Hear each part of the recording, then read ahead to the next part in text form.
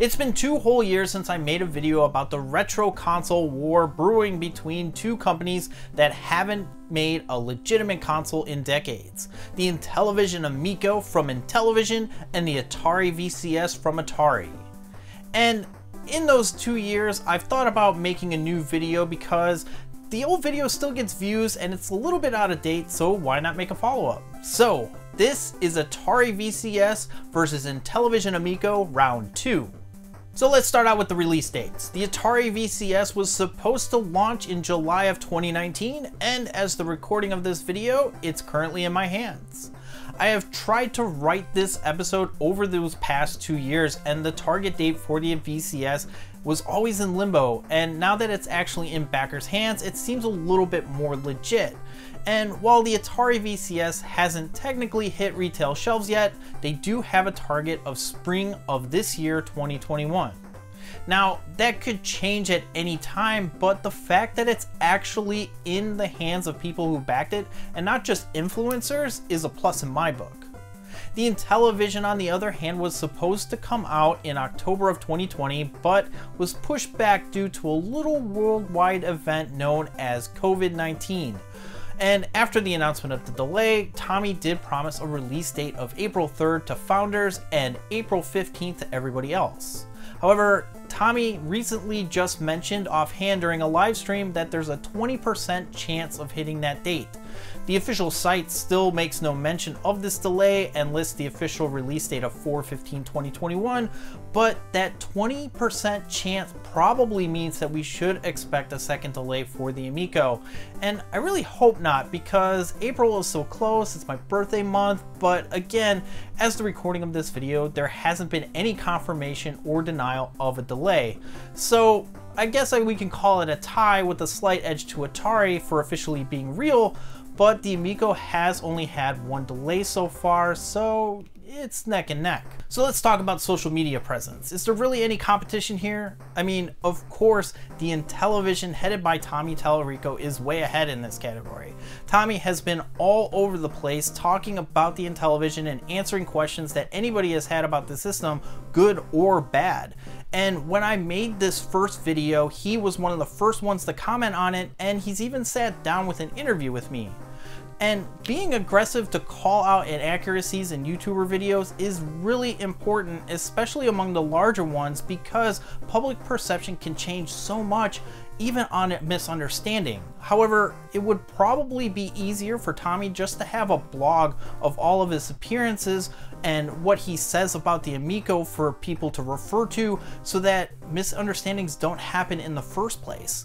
While I was doing research for this video, there were several different sources of information, all from Tommy himself, that I had to sift through in order to make a semi-informed video, which honestly I really shouldn't have to dig that hard. Now, compared to Tommy and the Amico, the Atari VCS has had a way different approach. They're more traditional, talking with tech blogs and going to tech shows like CES, and they were very dormant for the most part leading up to the release of the Atari VCS. Sometimes they would share updates on their Indiegogo page or Medium, and then on Twitter or through email, and I follow them through the Medium blog and the Indiegogo page, but I didn't find out about the, the Atari VCS shipping until I heard about it on a podcast who sourced their Twitter. But now that the system is out, they're a bit more active on social media, sharing press about the VCS and fan photos of the system. They definitely aren't as accessible as Tommy is though. To get my interview with Tommy, I just shot him a DM on Twitter and he set up a time to chat but the VCS has their channel outreach done through a third party, which I was actually unaware of until their official YouTube channel commented on my video and suggested that I reach out that way. And since I gave my information to them, I haven't really had any outreach whatsoever, and it's been about three weeks. So the winner in this route is Tommy. I mean, the Amico. Now let's talk about public perception. And it's no doubt that public perception has really played a role in the rollout of the Atari VCS and the Intellivision Amico, and it's really interesting to see how people react to the press about each console.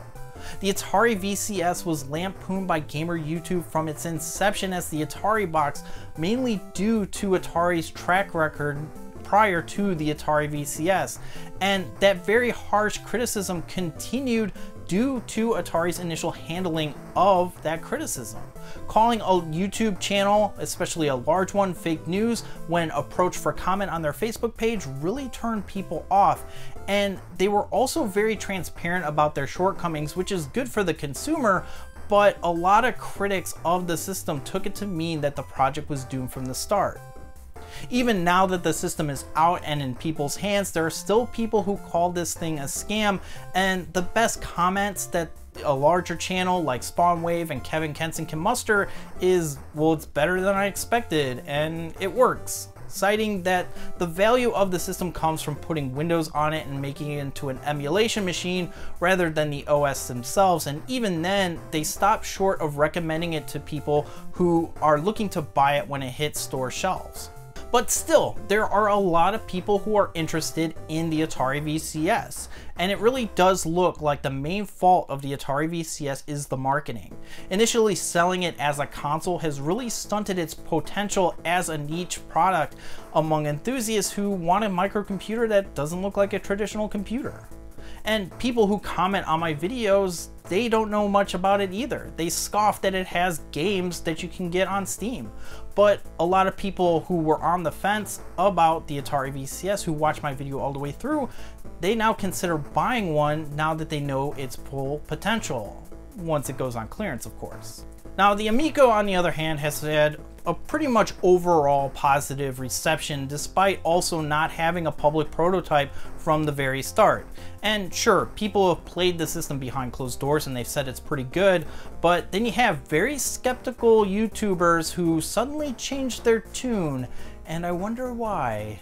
Well, you guessed it, Tommy Tallarico. And he's really the main reason why the Amico has had such a positive reception despite sharing a lot of similarities with the VCS in terms of product timelines. Anyone who's been a critical of the Amico initially has been approached by Tommy, and of those approached, most have completely changed their tunes from critics to fanboys or at least took pause to make sure that they accentuate their points better or not even cover the console in the future.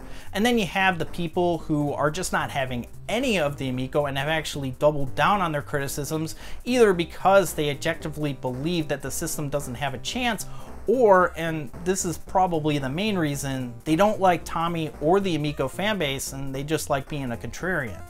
Tommy also has had the advantage of watching the Atari VCS get torn apart by critics, and he pretty much did the exact opposite of what they did in the social media landscape, and also he avoided crowdfunding as a method of raising money. The Amico is instead funded traditionally by investors and money from $100 refundable deposits that come from pre-orders. And I do want to point out too that it hasn't always been sunshine and rainbows for Tommy and the Amico. Tommy did have a very public spat with Pat Contri of the CU podcast, and when you have two strong-headed Italianos with differing opinions, things tend to get ugly, and the back and forth between Tommy Tallarico and Contri has really put a blemish on the Amico, but it has cooled down since then. Pat still does make unprompted digs from time to time, and when he does have something substantial to talk about, he definitely goes hard into the paint and his bias really shows. But it looks like Tommy has moved on from it, focusing his energy on people who are actually open to hearing what he has to say about the console. And you would think that Pat's disdain for the Amico has hurt its public perception, but really only among people who already didn't like it. I mean, Pat has an engaged audience, but they are really mostly focused around retro and collecting topics. And the Venn diagram of people who listen to the CU podcast and actually want to buy an Amico are almost two separate circles. Tommy giving a face to the Amico makes it really hard to make unchecked comments about the system, and he's pretty quick to call out inaccuracies or clarify concerns or answer questions, and in fact, he's probably lurking in the comments of this very video, ready to correct any mistakes that I've stated. So, hi Tommy, now let's talk about games, because this has been the main criticism of both systems for a while now. People ask, what about the games? You can't have a successful system without games, and they're right. The Atari VCS currently has 13 games as of the recording of this video, and a lot of them are exclusive to the platform, at least for a limited time. The VCS also includes the Atari Vault, which includes 20 classic arcade titles and 100 console titles, and the option to buy Volume 2. And also, they have the option to download Antstream Arcade and Air Console, which are Netflix style services offering a variety of games. Now the Intellivision, they have games also, and but they're mostly reimagined games from the Intellivision era like Astro Smash, Missile Command, and Cornhole, and they also have Earthworm Jim planned as well. And there are six games that will be included with the system free of charge, which is a plus over the VCS, which only included the Vault. Assuming that they are all new games and not just a repackaged bundle that you can get on Steam, I'd say that the Amico has the upper hand here. Time will tell how many games are offered after the initial launch window, which will keep these systems interesting and relevant. And Atari really does seem to be working towards filling out their game store prior to its retail launch in March and beyond. And the Amico potentially seeing delays, it will give them some time to showcase more of their games and also really focus on showcasing that special controller that the Amico has. Of course, if you want, you can just install Windows on the Atari VCS and put whatever you want on it, bypassing the OS altogether. So if all they include is 13 games and roll up shop, then you always have a PC. But you can't say that about the Amico, which out of the box, it does seem to be a closed ecosystem with no plans to allow the user to put whatever they want on it whatsoever. So the Atari VCS wins this round. So we talked about release dates, public perception, social media, games, now, what the question on everybody's mind is though, who are these consoles for? And this is a really interesting conversation to have because at first glance, the Amico and the Atari VCS don't really have anything specific to set them apart from the big three. But both consoles have made it really clear that they're not going to compete with the big three and instead carve out their own markets. But who are these consoles for? Now, I'm not about to sell you on either one of these consoles, at least not for free. But it is pretty apparent, at least from the comments on my videos and what I've been seeing all around, is that it's really tough to sell gamers something that they don't already want to buy. And people will argue that the Atari VCS and the Amico don't offer a lot for their price point. And they're kind of right. 299 will buy you a Nintendo Switch or an Xbox Series S. Two very capable systems with a deep library of games that are available right now. So why buy either of these two? We'll start with the Atari VCS since I actually have the system in my hands for a while now and a lot of people have commented I can't believe you spent $300 on an Atari emulator. Well, it does other things. The VCS is there for people who want a stylish, compact PC that they can use in the living room. They can cruise the web with a built-in Chrome browser, play classic games, play new games, slap Linux or Windows on it, and make it a compact Steam box. The system has a lot of flexibility if you have the patience and creativity to do so. And as a novice computer person, making the VCS do what I want it to do has been really fulfilling and got me thinking about what I want to do with the system in the future.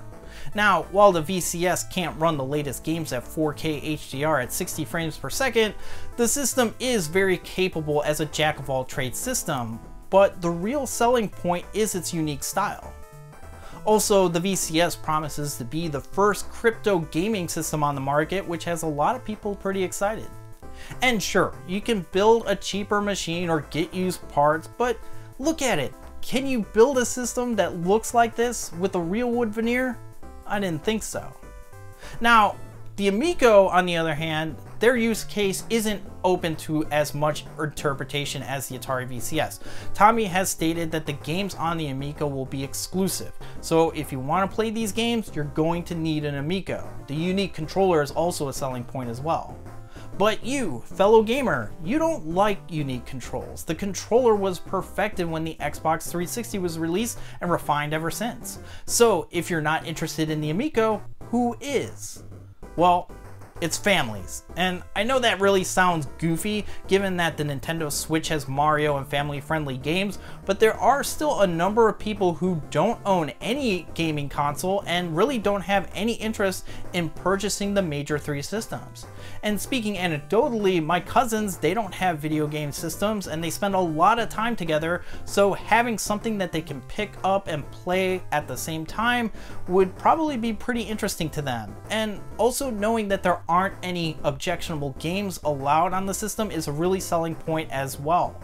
And it's a very, very, very niche market that they're targeting, much more narrow than the Atari VCS, but there is a market nonetheless. And if pre-orders are to be believed, there's a number of them interested in buying the system without even playing it, and that can only grow through word of mouth. Changing gears to the VCS and speaking from experience on that video, there are people genuinely interested in this system. I still get a lot of goobers saying that the system is a piece of junk, but those are very few and far between. And like I said, gamers don't like to be sold something that they're not interested in buying. So with all that out of the way, who has the most to lose? And I'm pretty sure that it's Tommy that has the most to lose. The Atari VCS was written off from its very start. The bar was so low for that console and it barely made it over, and there's nowhere for the console to go but up. And the Amico, on the other hand, has a lot more to lose because they've been working towards building a market of family gamers who feel that the Nintendo Switch doesn't do enough to curate quality games for families. And that's really going to be an incredible uphill battle to get people to buy a gaming console that have never bought a gaming console before.